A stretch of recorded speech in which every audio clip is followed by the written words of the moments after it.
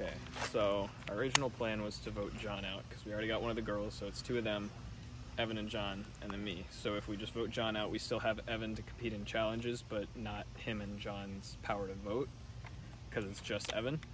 But now that Linnea has the idol, we're gonna go for her, and if she plays the idol, then the girls will probably vote John, and it's just a win-win either way.